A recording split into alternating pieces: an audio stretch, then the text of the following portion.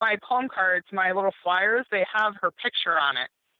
And so when she's going out, she's like, "Mom, I want to put my picture on the neighbor's door again," and she just thinks it's it's awesome. That's great. My four year old was watching a campaign video with me the other day, and I said, Oh, this person's running for Congress. And he said, But he's not running. That's funny. Is there anything else that you would like to make sure our listeners know uh, about you or about your district? So, if you want to support a mom and a, a scientist and a law school graduate who's running for Congress, you can go to Jessica McClure for Congress.com. My last name is spelled M C C L U R E. And uh, just look it over, and if that sounds good to you, you can uh, support us any way you think is appropriate. Excellent.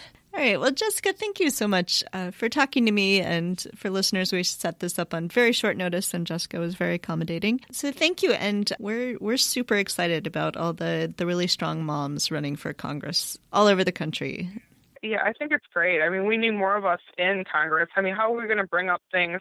There's certain topics that just aren't brought up, like the fact that like fertility medications aren't paid for by insurance companies.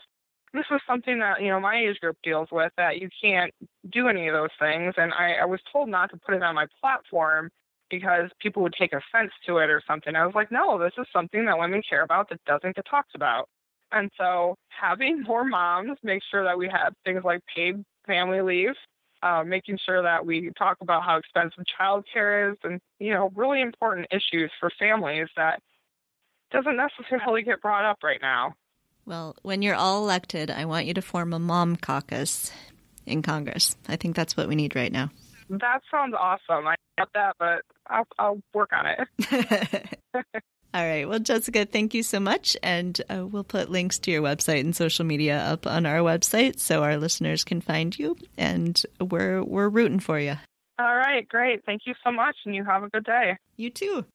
Thanks for listening to Two Broads Talking Politics. Our theme song is called Are You Listening? off of the album Elephant Shaped Trees by the band Immunuri, and we're using it with permission of the band.